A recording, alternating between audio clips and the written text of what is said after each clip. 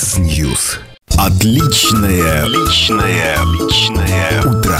Кто ходит в гости по утрам, тот поступает мудро. Каждую пятницу на радио Болткома после 9 утра. Личное утро. Ну что же, мы продолжаем, и наша программа «Личное утро» сегодня в студии Евгений Жафрана Каликпека. Доброе утро. Доброе утро еще раз. И у нас в студии э, молодой, талантливый э, актер из российского театра и кино, которого наверняка вы видели стопроцентно э, в сериалах «Шифр», «Гадалка», «Хождение по мукам», в фильме «Не любовь» Звягинцева, в, фильм, в сериале «Следователь Тихонов». Те, кто смотрел трансляцию Зойкиной квартиры Кирилла Серебренникова, кстати, по-моему, несколько раз у нас организовывали. Опять-таки, вы с ним наверняка хорошо знакомы. Максим Стоянов, здравствуйте, доброе утро. Доброе утро, здравствуйте. И фильм, который э, с сегодняшнего дня можно будет уже посмотреть на наших киноэкранах. Э, вот интересно, что вроде бы должен был бы он называться «Дайте мне свободу», но Э, его решили не переводить. Почему? Вот э, фильм вообще американский или российский? То есть вот очень сложно понять, потому что вроде бы режиссер э, с корнями из России, снимаются американские актеры, в действие происходит в Америке, и вот все, все так перемешано. Ну, начнем, наверное, с названия, почему оставили имя собственное. И... Мы его даже не озвучили да, ни разу. Надо, что фильм называется Give Me Liberty, он сегодня начинается в двух, и будет идти в двух кинотеатрах, это Аполло в Акрополе и Splendid Palace, где, кстати, будет Э, премьера более серьезная, потому что а, Максим сам будет присутствовать. Правильно же? Да, сегодня, да, вот. мы будем представлять картину. В общем, будем рады видеть всех. Вот, так почему Give Me Liberty? Ну, я не знаю, почему его не перевели, потому что Liberty, я даже не знаю, есть ли эквивалент и перевод слова Liberty, ведь если говорить о свободе, дайте мне свободу, это, наверное, Give Me Freedom. А Liberty – это какое-то такое пространство, где где нам хорошо. И мне кажется, мы все это пространство в жизни пытаемся найти именно когда нам по-настоящему будет хорошо. И мне кажется, герои этого фильма занимаются этим, ищут это самое пространство. Ну, это как бы пафосно так, аллегорично звучит. А, насчет американский или русский фильм, ну, я думаю, что это фильм интернациональный. Мне кажется, он очень такой, я бы даже сказал, и про советский, про, он про людей, он про всех людей, которые, это наши все бывшие соотечественники, которые мигрировали в начале, в 90-х, вот эту, эту волну, угу. после распада Советского Союза, а Кирилл – это совершенно ну, невероятного таланта э, человек и, и трудолюбие. Он, мне кажется, читал все и смотрел все в этой жизни. Э, огромный диапазон знаний у этого человека. И он, э, мне кажется, он очень хорошо знает их ментальность и нашу ментальность. Именно, именно, вот именно советскую, постсоветскую. Людей, которые который нас когда-то объединяла одна страна, а потом... Кирилл ну, Михановский, это режиссер, э, режиссер картины. Кирилл Михановский, да, да режиссер картины «Give me liberty». А фильм, э, его показывали в Санденсе, и на фестиваль Санденс, это же, в принципе, один из, пожалуй, ну, самых главных фестивалей независимого кино Америки, задуманный ну, ведь э, Робертом Редфордом как, ну, какую-то возможность дать э, выход. Он стал сейчас одним из, ну, наверное, одним из главных американских ну, кинофестивалей. Из него в свое время, на минуточку, Квентин Иванович Тарантино mm-hmm. вышел э, с «Бешеными псами», по-моему, в 92-м или 91-м году, когда была премьера. Это, да, она прозвучала на Санденсе, прогремела, и дальше-дальше. Санденс очень, очень мощный такой фестиваль независимого кино, куда съезжается вся Америка – это он происходит в городе Парк-Сити, это недалеко ближайший город большой, Солт-Лейк-Сити, это вот где была Олимпиада в 2002 году. И вот мы туда ездили, представляли картину, тоже мы были в каком-то там, в одном из конкурсов. Я был, конечно, поражен и впечатлен масштабом этого фестиваля и наличием узнаваемых личностей там из Голливуда и прочее. Кого? Кого видели? Э, Джулиану Мур, э, Тоби Магуайра, Шайа ЛаБаффа, мы с ним вообще там... Ну, не, ну, не вот купили, ну, в общем... Но все было хорошо. История умалчивает, да? да? Все, все, что было на фестивале, фестивале. Да, все, что было в Санденсе, остается в Санденсе. Да, да.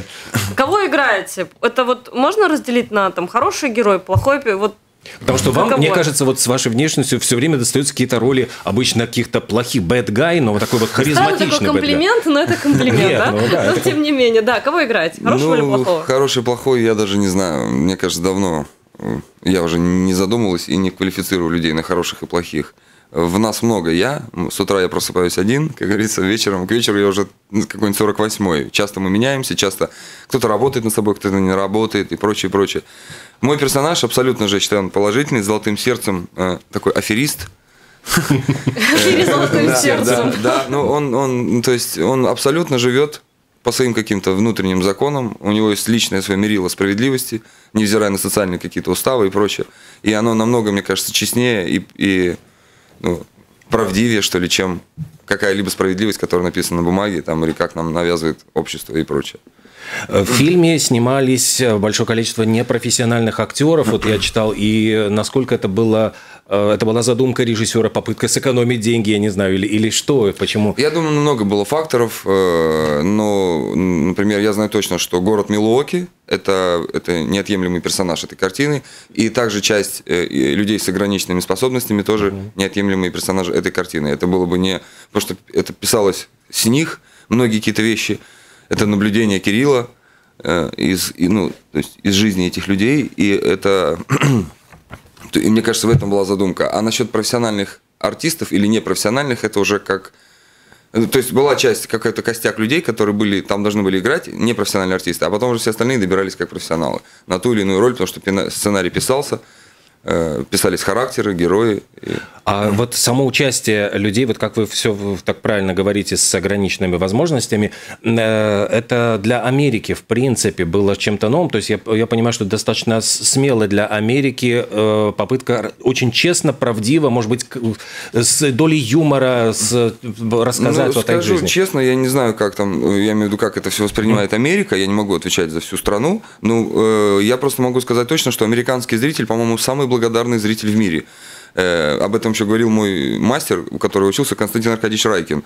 Когда он, они там, если он говорит, если ездим на гастроли, там, в Штаты, это самый-самый-самый-самый лучший благодарный зритель, это американский. И мне кажется, он очень схож чем-то я не застал в это время, с нашим советским зрителем. Там есть какая-то доля наивности, чистоты, mm-hmm. какая-то... Э, люди идейные все равно. И они как бы, знаете, обмануть меня нетрудно, я сам обманываться рад. Они очень хотят впечатляться, они как дети малые.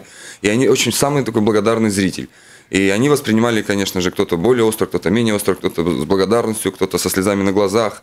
Ну, как бы это кино не оставило равнодушным, мне кажется, никого. Вот об этом кино еще говорят о том, что это талантливый микс из постановочных и документальных съемок. Э, вот в какие моменты э, введены были документальные съемки и для чего и нужны ли они были? Документальные? Я не думаю, что там документальные съемки. Это, это может быть э, те, кто написал, имели в виду микс документальных съемок и художественных, они просто имели в виду стилистику или намерение – но документальных таких внятных съемок не было. Что там стилизовано, да? Под, под, а, ну как, мы, ну, мы снимали, например, Айзенхауэр центр, это где э, вот этот центр э, инвалидов, где они приходят, э, каждый день их привозят на эту работу, и они там несколько часов трудятся на благо, то есть они приносят пользу этому миру, там делают выключатели, розетки, еще что-то там, кардаши. И, это, и этот момент снимали просто тоже как, это как часть, это как ритм, это как часть фильма. Может быть, э, э, вот это имеется в виду документально. Будем смеяться или плакать? Я думаю, то и другое. Американский зритель, вот ты скажешь, что он очень наивный. Э, клише вот присутствует о русских, там же вот, ну, в принципе, вот сталкиваются русские, американские, э, э, американцы ну, в одном автобусе. Я думаю, что проверку на клюквенность, так сказать, мы прошли в Москве, mm-hmm. потому что мы даже переживали там, да, ну, многие там, ну, давайте показывайте, что там у вас, да, русские в Америке, давайте балалайки, водку, mm-hmm. медведей. Оказывается, балалайк нет, водки нет, медведей нет. То есть клише, я не думаю, что там есть клише, там есть абсолютно узнаваемые вещи, которые э, знакомы каждому человеку, который э, хоть как-то связан с Россией или там родился в Советском Союзе. Потому что там, там, э, там есть потрясающий хор пожилых людей, которые в почтенном возрасте, которые эмигрировали туда. И та страна, я думаю, им продлила э, жизнь лет на 30, благодаря медицине там, и прочее, прочее. И они, Кирилл в них влюбился сразу, это там пожилые люди. Вы там, если посмотрите картину, вы, вы знаете, там вот баянист э, как его зовут, господи, забыл. В общем, Зиновий, э, Аркадий, дедушка, это все такие прекрасные наши бывшие соотечественники, которые очень обаятельные старики, как дети. И, и они тоже неотъемлемая, ну, такая часть этой картины, персонаж, персонажи, э, такая и группа. И, в общем, когда они попадали в кадр, и когда они снимались, это тоже это было очень круто с точки зрения какого-то... Они тоже не профессиональные актеры, у них есть свой любительский театр. И Кирилл как-то очень органично их вплел в нашу историю. Это очень важная часть истории. Лорен Спенсер, э, она же тоже блогерша, то есть она не э, актриса по, по своему... Она, да? она очень продвинутый человек. Я после съемок э, двинулся в путешествие, я доехал из Милоки, от Милоки до Лос-Анджелеса на машине. А сколько это километров? Ну, тысяч четыре, наверное, пять, что-нибудь такое. Ну, через всю Америку, через весь континент. Один? С, еще с одним товарищем, с помощником оператора Адам Лунайгру его зовут. И как вот впечатление? Америку, ну я всегда хотел через окно увидеть машину. Круто, мы в Лас-Вегасе еще застряли дня на три. Ну все, что было в Лас-Вегасе. Все, что заработали, все, что заработали в Милуоки, осталось в Лас-Вегасе. Маленько, да-да-да, потратились, ну ничего. Когда еще поедем, как говорится. Когда гулять, то гулять. Да, да, гулять, то гулять. И, а, и, Лол, и мы, когда доехали до Лос-Анджелеса, мы встретились с Лола. Она очень продвинутый человек, ей коляска вообще не помеха. Она очень активная, она и блогерша, и благодаря ей я встретил Тарантино в Каннах, потому что картина еще была на Каннском кинофестивале в мае в программе двухнедельных режиссеров. И она очень-очень-очень продвинута. Я просто удивляюсь ее силе, духа, ее какой-то любви к этой жизни. Просто невероятный человек. У нее еще какая-то энергия сильная в ней. Так смотришь даже на ее лицо такая Анна Маньяни, в то же время какая-то сила, там, ну, невероятно, в общем, я а фанат вот, ее. А, а вот, скажем, на этих, э, на, на, на фестивалях, вообще, как во время съемок вы снимались, э, вы, вы встречались с очень известными актерами и видели достаточно близко. Вот в этот момент у вас э, какие эмоции? Вот прям восторг или растерянность? Никаких. Может быть, там, не знаю, синдром самозванца Нет, получается? у меня, например, Джулиану Мур я вообще не узнал. Я думаю, что за дама? Это на Санденсе было. И смотрю, я смотрю на нее, я думал, кто ли это продюсер с нашей площадки. Я, я смотрю, она на меня смотрит, и я не понимаю. Эй, ты бутерброд сделай, а, да? А мы как раз, а мы как раз были э, э, на фотосессии, и там такая небольшая очередь, и все участники Санденса должны были заходить в определенную комнату и фотографироваться для обложек там, журналов и прочего. И вот Джулиана Мур была в очереди перед нами. То есть, э, я смотрю, смотрю, смотрю, и она на меня тоже так смотрит, и потом она ушла, и Кирилл подходит, узнал, и я говорю, нет, кто это? Он такой на ушке, Джулиана Было бы смешно, если бы она послушала. Да, было бы смешно. Ой, это ж ты. Вот, и никаких абсолютно. Тарантино, когда увидел в Каннах, э, он был сидел в лобби, тогда я немножко растерялся, потому что это мой один из самых любимых режиссеров, я фанат его картин. И тут уже Лола, она была рядом, мы просто ездили там по делам небольшим. Она его знает, получается? Нет, она его не знает. Она просто, я просто растерялся, я думаю, что делать, но я должен ему сказать здрасте. И она подъехала, сначала она на инвалидном кресле, дескать, hello, бла-бла-бла, в общем, давайте подружимся, познакомимся, да, да, я подошел, я два слова, I'm from Moscow, Moscow Art Theater School, Станиславский метод, он, yeah, yeah, I know, I know. Он очень обаятельный, малый оказался, и он говорит, э, он же в августе приезжал, э, представлял картину в Россию, и он сказал, типа, I will come to Russia, we'll see you in Moscow. Все, телефонами обменялись? Ну, нет, конечно. Пастернака ему не читали? Он же любимого же его поэта. Ну, нет, я, кстати, я поступал с Пастернаком, но нет, я не хотел отнимать у него время, это было настолько как-то ну, не знаю, был восторжен, и то, что я жал ему руку, и то, что так мы пообщались, и я даже не хотел фотографироваться, спросить, это бы все испортило, и я просто побежал дальше. Я говорю, спасибо. Насладились мгновением. Да, да, да, да, это, мне кажется, дороже всего, да, чем... Но ведь это американская мечта была, я понимаю, для вас попасть в театральный вуз, потому что вы, вы же работали прорабом на стройке два года. Да, было То есть это было, ну, так практически вот казалось это чем-то недостижимым, вот как, не знаю, вот встретить Тарантино для простого парня из Приднестровья. Ну, это, знаете, это как сказать, наверное, все в этой жизни достижимо и в то же время недостижимо. Э, я просто не мог, я всю жизнь, наверное, хотел быть актером, просто никак не мог себе это объяснить внутренне и не знал, с чего начать. Знаете, вот как хочу стать космонавтом, а куда идти? Ну, то есть в летное училище или куда? Или на, или на гражданского пилота учиться, или на кого? А поскольку я из простой семьи, у меня отец, э, царство небесное, был машинистом э, локомотивного депо, тепловоз возил всю жизнь, лет 35. Мама то домохозяйка, то продавщица в магазине работала. То есть Юрий Стоянов вам, вам, вас не устраивал по блату К сожалению или к счастью, да, не, не, не устраивал, это абсолютно. Ну... А были какие-то казусы, связанные с тем, что у вас есть такой знаменитый однофамилий? Нет, не было. Ну, как-то кто-то, может, где-то в шутку или как, угу. как. И очень редко, в общем, абсолютно никаких казусов, никаких. Все понимают, наверное, что это не так, что мы не родственники, не, не братья, угу. не, не сватья. Что Даже скучно, да? Только ну пришел, говорит, да, Стоянов, проходите, вот вот лучший, столик, например, там, я не знаю, еще что-то. Ваша роль, вот. Да, было бы любопытно, но, к сожалению, не так. О чем вообще эта картина? Вот? Вот uh, Give Me Liberty, о чем она, какая у нее э, главная мысль, какой лейтмотив, что мы увидим? Да, мне кажется, она обо всем и ни о чем в то же время. Это просто такой один день, 24 часа. Так эм, себе реклама, в городе, давайте. Роуд-муви, в городе, можно в городе Мил... Я не знаю даже о чем. Вам сюжет пересказать или Нет, мои личные надо. ощущения душевные от Давайте нее? душевные ощущения. Ну, мне, я несколько раз и, и смеюсь, и плачу, когда вижу эту картину. Мне кажется, это одна из самых выдающихся картин. Ну, конечно, я не самый объективный зритель, наверняка, потому что это мое детище, да, то есть это, наверное, не у меня надо спрашивать, а у людей, которые видели или посмотреть. Но я думаю, что это один из каких-то все-таки новых видов э, кино, киновысказывания, я так сказал, новый какой-то вид киноязыка. И это как бы, ну, что касается технической точки зрения. А что именно человеческой точки зрения, это ну, там то, что мы все люди, и то, что и ну, каждый по-своему понимает это, это. Просто я сейчас буду спойлерить какие-то вещи, и это было, ну, наверное, не очень, не очень корректно с моей стороны. Но я столько слышал каких-то видений у людей, которые даже мне в голову не приходили, а хотя э, это они увидели благодаря там игре моей или каким-то сценам. А, ну, в общем, мне кажется, это про то, что это очень такая, такая мощная энергетика. В картине очень сильная энергия. А любой вид искусства, он все-таки чем отличается хорошее кино от не очень хорошего кино? Или там хорошая картина от не очень хорошей картины? Я могу на одну часами смотреть в музее, да, а, а некоторую прохожу. Это энергия. Либо она есть, либо ее нет. Если она есть, значит, бывает очень дорогой бюджет, э, очень дорогие звезды, там супер какие-то знаменитые артисты играют, uh-huh. профессиональная съемочная группа и прочее, прочее, а кино не получается, паровоз не летит.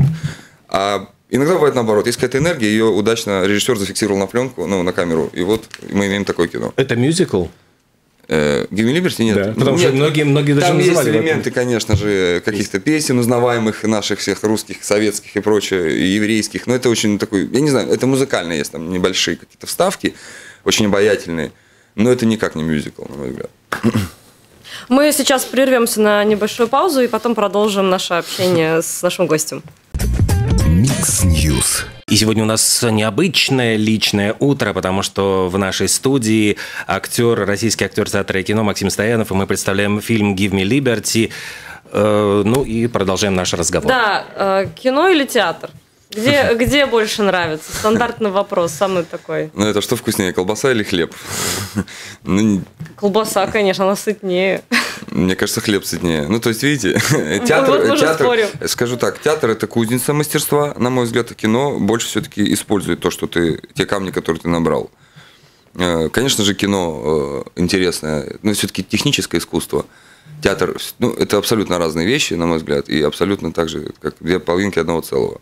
Ну вот э, я была на съемочной площадке в Кулдыге, где снимался фильм Алексей Учитель Цой, и в этом тоже играете роль. Да, Но мы с вами там не увиделись, мы увиделись здесь. К сожалению, да, мы не пересеклись. Но да, я тоже я... был в Кулдиге, тоже у меня там была смена. Но я вот посмотрела на весь этот съемочный процесс. Это не первый раз, когда я на съемочной площадке кино смотрю, как это все происходит. А, вот человеческий вопрос, как можно играть несколько дублей, все это, и все это время еще тянется какое-то ожидание, да, там, посидели, подождали, камеры сменились, дубль, мы что-то сыграли, опять подождали.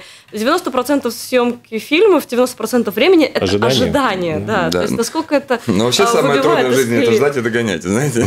Так что... Насколько интересно этот процесс. Ну, это работа, это работа, конечно, она воспитывается в себе, когда ты учишься в театральном институте, где-то надо подождать, и здесь самое главное, надо включиться еще, потому что когда шум, гам на съемочной площадке, все шумят, переставляют камеру, рельсы и прочее, прочее.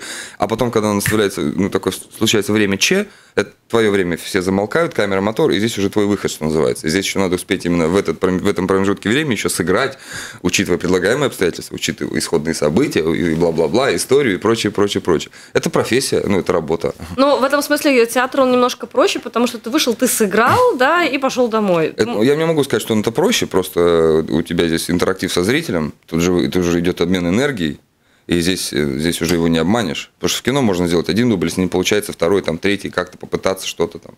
А здесь, когда ты уже выходишь в театр, ты это со зрителем, это встреча некая, зритель ждет встречи с тобой, ты ждешь встречи со зрителем. И это немножко, я не могу сказать, что это проще. Это где-то, может быть, больше даже нагрузка, стресса, больше стрессовая нагрузка на организм, нежели кино. Энергии что больше отнимает? Съемка в кино или все-таки спектакль? Съемка в кино отнимает много энергии. Потому что нет обратной э, отдачи. Спектакль все-таки, да, э, театр зритель все-таки возвращает. Смотря, кажется, что это как бы на первый взгляд не так, что ты больше даешь, но все-таки, мне кажется, кино выжимает из тебя соки, театр Си- дает. А сериал или, или кино? Вот, вот, э, потому что вы много снимали в сериалах, да. да, вот насколько вот это разные, вот э, в кино, э, сериал это такой бег на ну, длинную во-первых, смотря какой сериал, сериал угу. сериалу рознь, и кино кино тоже рознь. Если материал интересный, это, конечно, ну, не важно. Ну, сериал, когда это более длинная история, у меня такой из дома, а, такой, знаете, как такая пробковая доска, и я прям как какой-нибудь, знаете, исследователь э, уголовного розыска. Я прям всех персонажей выписываю, всех, э, чтобы я ориентировался, кто, кто я, кому я как отношусь. Потому что мы в жизни, мы даже не замечаем, мы ко всем по, по, по-разному относимся. Кого-то мы уважаем, кого-то мы недолюбливаем, кого-то мы боимся, кого-то... И мы иногда сами не замечаем, как наш организм переключается. Мы можем даже здороваться с разными тонами, да, друг с другом. И когда я выписываю всех персонажей, вижу их, если это сериал, если там какая-то история, и потом кто-то уходит, кто-то приходит – ну, это такая большая тоже домашняя работа. В кино тоже ее надо проводить, именно в полнометражном фильме, но чуть по-другому. В общем, ну здесь нет разницы, и то, и то интересно. Все зависит от материала. Иногда бывает вгрызаешься, считываешь сценарий, а иногда вот лишь бы дочитать и кое-как сыграть и прокормить семью. И такое Ведь, бывает. э, э, был вот уже этот момент, когда вы ощутили, что все, вот, вот пе- какой-то перелом э, в судьбе, ну потому что я, э, ведь каждый актер начинает с небольших э, ролей. Вот, вот фильм «Give me Liberty» это может стать вот какой-то отправной точкой, которая вот, ну, фильм, который перела... с- судьба актера изме- меняется, он становится... Я не готов сейчас прогнозировать свое будущее или там уж предсказывать тем более. Я хотел бы, конечно, в это верить и надеяться. Ну, посмотрим, не знаю, поглядим. А личные амбиции? Вот, э, Все нормально с ними. Ну, понятно. Но если вы говорите о том, что вы не хотите предсказывать будущее, принято, но вы же как-то его планируете. Вот есть какие-то идеи? Вот я бы хотел сняться, не знаю, у Тарантино. Я сам бы хотел стать Тарантино, не знаю. То есть о чем мечтает наш герой по утрам? Кроме чашки кофе и поспать еще немножко. Э, Ну, ну, о чем я мечтаю? Сыграть, вы имеете в виду роль или что? Или уровень? Я даже... Уровень, роль, э, Ну, может быть, сменить э, направление, может уйти Нет, ну, мне интересно в профессии все. Я бы хотел просто... кажется, Я, наверное, каждое утро мечтаю о том, чтобы у меня всегда был объем интересной работы. Для меня важной. И, в общем, да, какой-то важный. Что именно... Я все хочу сыграть, что мое. Ну, нет такого желания, там, не знаю, пройти по красной дорожке в Каннах. Ну, это уже вы говорите сейчас про какой-то... э, Да, про- про, про результат. Нет, Про это не результат. амбиции. Это вот сразу чувствуется женское мышление, мужское мышление. Почему? Что за сексизм? Ну, это же... это Нет, я имею в виду ни в коем случае не сексизм, прошу прощения. Это... Ну вот пройти по дорожке, если я сейчас, вы знаете, я хочу пройтись по красной дорожке в Каннах. Во-первых, я уже по ней прошелся как-то, Вот. но дело даже не в этом. И вот, ну, если я сейчас буду думать о красной дорожке, то я плохо сделаю, то есть, свою какую-то работу. Это не, то есть, банки, деньги не, должны, ну, не в том банке у меня будут. Это, конечно, это как уже как некий бонус, как часть, это, конечно, приятно, какие-то комплименты. Вот в Ригу прилетел, на радио позвали, интервью даю. Это все прекрасно, но это замечательно, но дело не в этом. Я когда шел в театральный вуз, у меня не было амбиций пройтись по красной дорожке. У меня была амбиция работать и попытаться делать работу лучше. А смотрите, э, что важнее, сыграть в каком-то ключевом фильме, ну вот как, например, «Нелюбовь» Звя- Звягинцева, небольшую роль или получить главную роль, но в фильме, который непонятно, вот выстрелить, не выстрелить? Ну, для меня лично я, я бы очень хотел бы большую роль, да. Это важнее. Для меня лично, да, потому что когда есть объемная роль, есть где развернуться. А маленькая роль там, конечно, сложнее, и ей мало кто уделяет внимания, кроме тебя самого. А, В общем, да, большая роль поинтереснее, чем маленький. А что касается объема работы, все-таки актер такая профессия в этом смысле опасная. Сегодня позвали, завтра не позвали. Э, Как э, вот с этим, чем, чем может заняться актер, когда нет съемок? О, да, Ну, вот кроме это- как грустить и пить, например, да? Что, что происходит? Это Что очень хороший вопрос. Только вот. Эм, а Ну, во-первых, это вообще все творческие профессии, это, это самые социально незащищенные и незастрахованные, э, непредсказуемые в нашем мире, да, будь ты писатель, художник, артист и прочее. И здесь, я не знаю, уже каждый сам решает в зависимости от индивидуальных качеств человека, в зависимости от э, намерений. Можно развиваться, читать книжки и ходить в спортзал, а можно пить водку и познавать мир и, и- и разговаривать с бомжами. А, а есть вы что выбираете? Я выбираю, ну, это уже по-разному. Иногда я хожу в спортзал, иногда я пью водку и разговариваю с бомжами. То есть я пытаюсь соединить все. А ты что, как-то от времени года или, что? или от Это вот- количества а вот- свободного а времени? а вот и не знаю, человек трудно устроен, от чего это зависит. С утра просыпаюсь, думаю, в спортзал пойду, а к А, вечеру пью водку с бомжами. смотрю, водка с бомжами. Да, понятно. Общем, нестабильность сплошная. А что должен уметь актер? То есть вот э, режиссеры же часто предполагают, что актер там должен сыграть скрипача, то есть вот он должен уметь играть на скрипке. Там известно, когда люди учились играть просто на пианино, вот потому что им нужно было э, это для роли. Вот на что вы готовы пойти на роль? Да на все. Главное, чтобы дали объем работ и, объ- работы и, и время подготовиться, если мне надо сыграть профессора или скрипача, или там биолога и прочее. То есть Абсолютно, вот- это все интересно, это все можно есть свои методы, где можно подойти к любой профессии и не обязательно учиться мне играть сейчас, как там, я не знаю, на скрипке как. Но есть амплуа, которое точно не ваше. Например, Ну, слезливый конечно, романтик наверняка. какой-нибудь. Можно слезливый романтик? Да, что бы нет, можно, это же интересно попробовать, если, если это куда-то, ради чего-то, если куда-то персонаж развивается, если он как-то меняется, потом приходит, может, он и потом из романтика превращается в Ну, супергероя, условно, как- там, или в кого-то там перерождается. Нет, я очень сомнительно отношусь к ролям, э, что касается насилия над детьми и там гомосексуализма, что-то в этом духе. Я пока, наверное, не готов на сегодняшний день, если вдруг э, Хотя. Бандерас начинал как Как? раз в фильмах Альмадора. Ну, не, не насилие над детьми, а второе, я А. имею в виду. А да. ты сейчас на что намекаешь? Нет, нет, я Ну, пока никто не предлагал, но я не знаю. да, да. То есть, опять же, это все зависит от материала, от объема, от, э, от, от каких-то в общем, куда и зачем и почему. Что интереснее, злодей или герой вот в их роли? Потому что многие актеры ну, говорят, что злодеев играть гораздо интереснее. Но они умирают раньше обычно. Ну, вы знаете, ну, тут, скорее всего, ну, интереснее, потому что, мне кажется, все то нехорошее, что есть в нас, в нас же каждом, мы иногда, что-то у нас есть хорошее, что-то плохое, кто-то это культивирует в себе, кто-то, наоборот, взращивает плохое. И мне кажется, то, что есть в нас плохое, то артист через роль это все отпускает, ну, отдает он оставляет это в плохом персонаже и тем самым очищается как-то. Мне кажется, что когда ты играешь злодея, ты просто чуть-чуть становишься лучше как человек.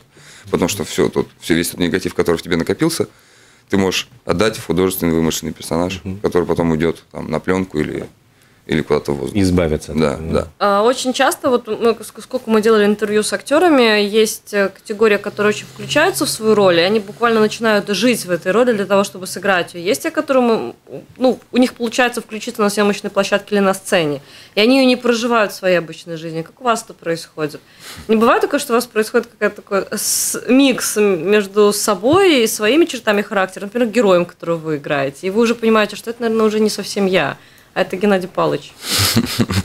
Это Геннадий Павлович, а не Геннадий Павлович. Геннадий Павлович. Э, ну, наверняка, нет, в любом случае где-то есть я. И в любом случае мы делаем из себя. У меня нету холста, у меня нету кисточки, у меня нету барабана или скрипки, гитары. У меня есть только я, и мой организм, и мое тело.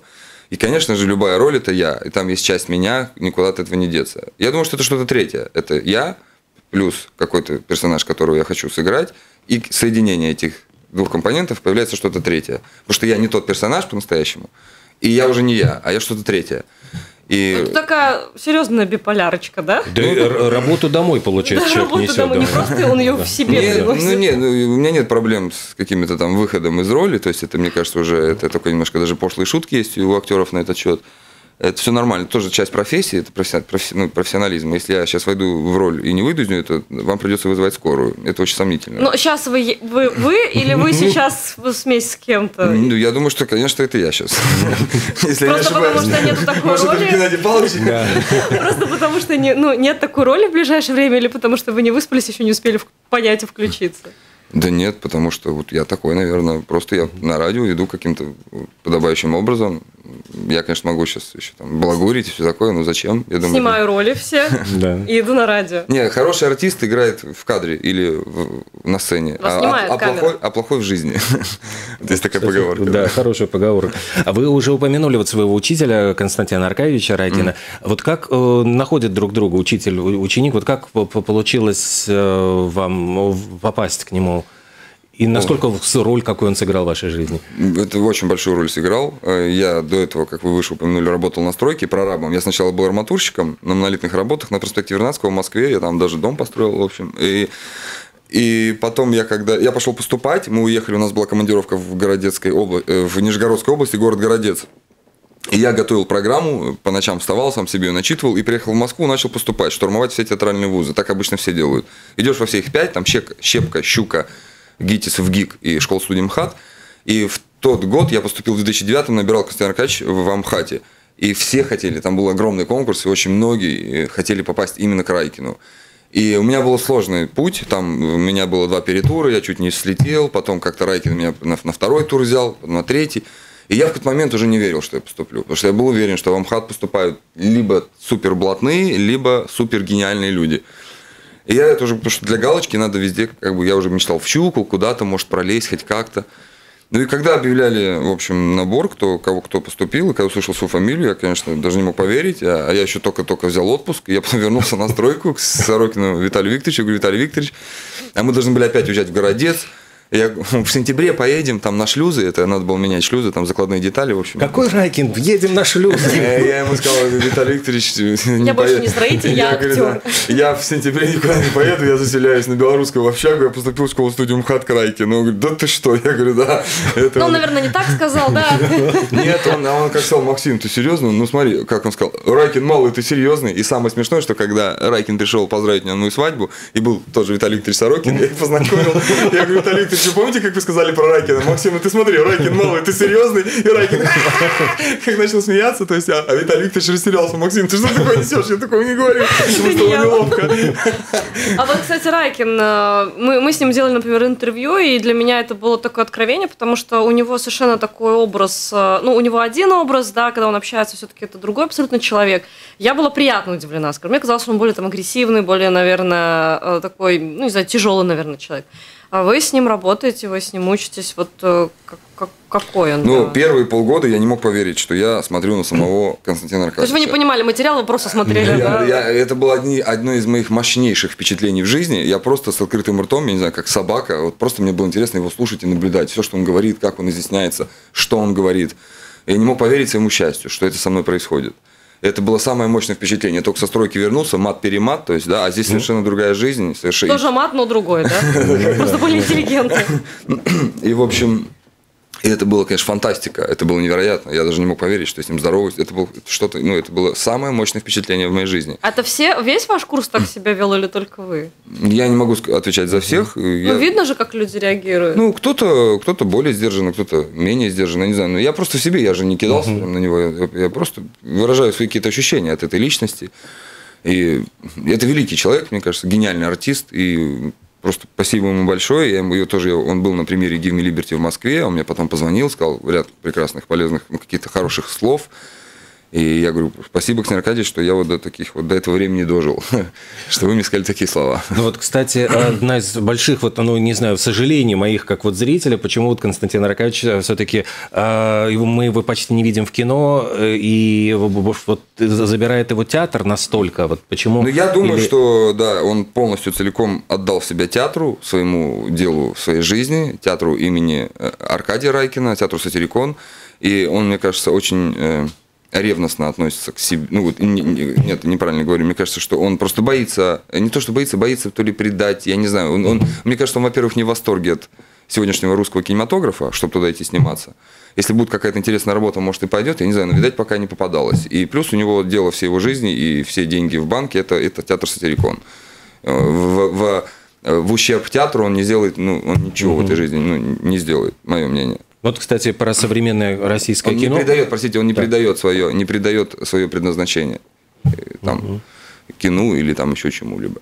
Вот э, про современное российское кино, вот вы говорите, что оно, ну, как бы с другого совершенно уровня стало, но вот ваше мнение, э, российский кинематограф сейчас переживает что? Вот с одной стороны мы видим очень э, кассовые ленты, там, экипаж, движение вверх, там, ну, масса картин, которые э, собирают большую кассу, но с другой стороны мы помним все какие-то вот душевные, хорошие фильмы, может быть, нет ли того, что оно стало более таким американским, более просчитанным каким-то таким? Ну, во-первых, кассовые ленты становятся, потому что есть очень мощная рекламная машина. Без рекламной машины ты не, не создашь кассовое кино, это однозначно.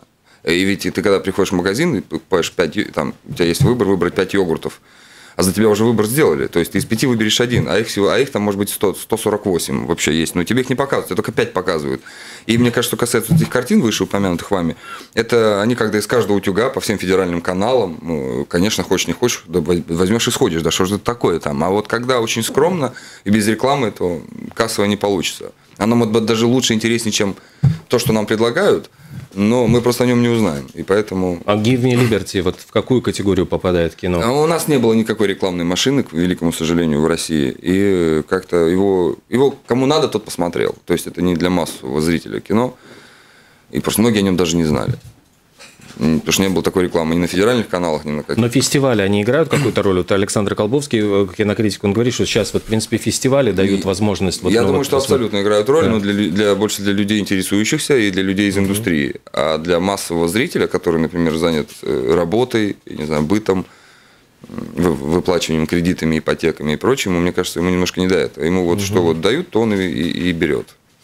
А как вы вообще относитесь э, к современному кино, которое не классическое, да, то есть это может быть какой-то артхаус, это может быть какое-то там, не знаю, современное искусство. Вы лично, вот вам интересно смотреть, неинтересно смотреть? Когда вы понимаете, что это круто сделано, да, то есть там какая-то глубокая... Ну, у меня один критерий – энергетика. То есть, либо я чувствую какую-то энергию и включаюсь в историю, либо не чувствую. Если, есть даже шутка такая у нас у киношников. Если, снято долгое, скучное кино, это значит называется артхаус. Назовите его артхаусом. Есть, ну, артхаус, артхаус рознь, и э, у всех свои как бы методы съемок, у всех э, разные режиссеры, то есть абсолютно. Ну, то есть, например, я в восторге от фильма Beautiful, э, эм, э, Инириту, да, да, да, да, да, угу. и у него своеобразная стилистика, великое кино, ну, и, ну, мне кажется, не для каждого. Вот, вот как пример. Это даже не артхаус, я даже не знаю, как назвать, но это очень крутое такое кино с какими-то смещенными пластами реальности, то есть такая живая история про живого человека и прочее. Звездная болезнь есть? Думаю, что нет. Ну, как поступать либо супер блатный, либо супер гениально. Вы не супер блатной, фамилия не сыграла здесь никакой роли, да? Нет, Значит, это я просто это я ошибался. Что в итоге просто Райкин э, очень честный человек к себе, к жизни и ко всем. И разные ходят истории, что там просили того взять, того, но он никого не берет, если не считает сам нужным. Он может сомневаться, он может думать, он собирает пазл. Я просто к тому, что я ошибался. На самом деле поступают всякие, если очень хочешь. И это как-то чувствует, как эта энергия, когда ты посылаешь ее куда-то в космос, это как-то чувствует. И, может быть, когда человек принимает решение в эту самую секунду на 3 миллиграмма какой-то космической энергии чуть-чуть перевесил. А, ладно, давай возьмем. То есть, есть у, любой, у любой человек должен поверить э, в эту в свою мечту, и у него да. есть шанс, не да? Бояться, да, абсолютно. Не, не должно быть плана Б, не должно быть пути отхода. Я просто понимал, либо так, либо никак. Если я сейчас не поступаю, не поступаю никогда я буду всю жизнь работать на стройке, останусь прорабом с красной Ну, может быть, дорастете там до, до да. высот. До каких-нибудь до, до, до крана. А получается, что стоит в Москве дом, построенный вашими руками, в нем живут люди? Ну, я, я его, э, в смысле, не, не прям, я его лично не строил, там целая бригада строила, но я работал, я пришел на это, это проспект Вернадского, дом, не помню, это между метро проспект Вернадского и университет.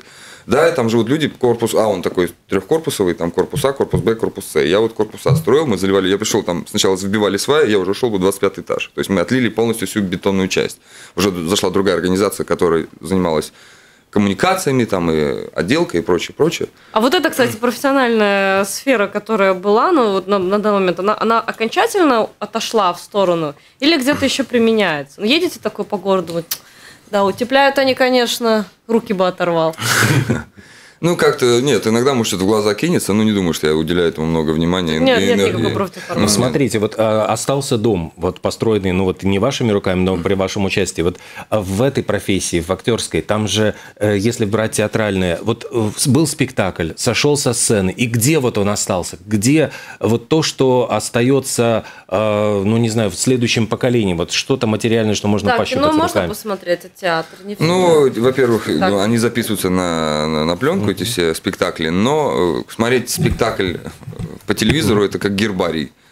Это как, ну, это, это абсолютно, это нельзя это делать. И я не знаю, что остается. Ничего, наверное. Только воспоминания и, ну, наверное, какие-то документальные фиксации. Это как знаменитый Ив Кляйн, да, художник, который продавал пустоту. Ее можно было купить за золотые слитки, которые бросались в сену. Или за а. чеки, которые рвались и бросались в сену. Вот ты купил пустоту, у тебя ничего не осталось, и ни у кого ничего ну, не осталось. Вообще, мы продавцы воздуха, если честно. Актерская профессия такая вот именно. А вот в плане актерской профессии есть тут какая-то правдеформа? Вы можете посмотреть, вы смотрите кино или вы смотрите на игру актеров? Вы смотрите спектакль или вы смотрите на какие-то нюансы? На такой то есть зритель видит вот, э, скажем, такой фасад. Каждый, кто-то любит экшен, кто-то любит спецэффекты, кто-то любит. Я люблю человеческие взаимоотношения и вот эту игру, что происходит между людьми. Это самое трудное, что есть в актере. Но вы смотрите, как играют актеры, или вы смотрите на сюжет? Вот есть такое, Нет, чтобы отключать от сюжета? не так много. На сюжет я, как правило, мне не важно, кто там То есть переигрывает, что-то, да, вот это вот есть, да? Нет, я просто смотрю за какой-то организацией жизни и думаю, как же ребята круто это играют, если это круто.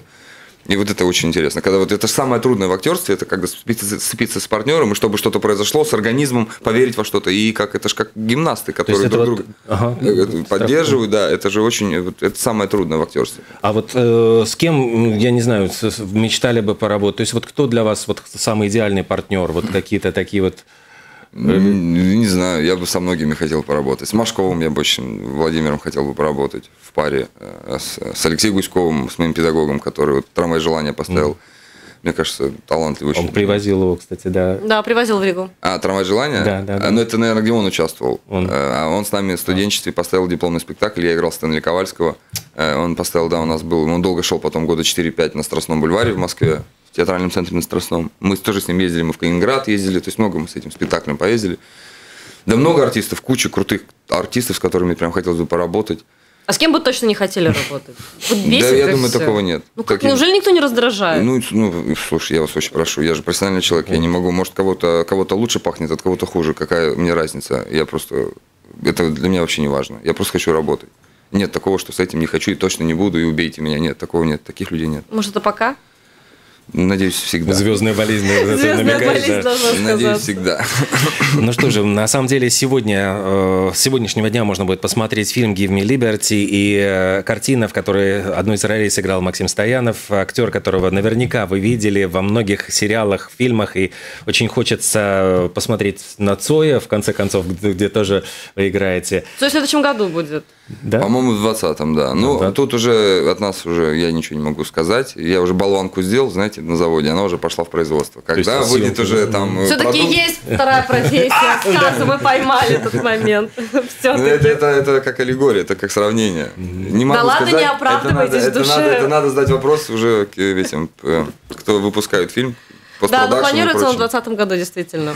Желаем вам удачи, желаем актерам, в- вот зрителям прекрасных актерских работ. Максим Стоянов, э, российский актер театра и кино, сегодня был в нашей студии. И Сегодня смотрите, да, начинается сегодня. Give Me Liberty. Э, э, Splendid Palace и, Ап- И Ап- Аполло, да, в Акрополе. Сегодня начинается премьера, он выходит на экраны. Спасибо вам. Супер, спасибо, спасибо.